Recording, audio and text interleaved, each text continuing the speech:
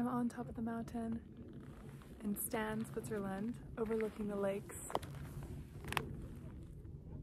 It is absolutely stunning today. It is gorgeous weather and you can really see for miles and miles.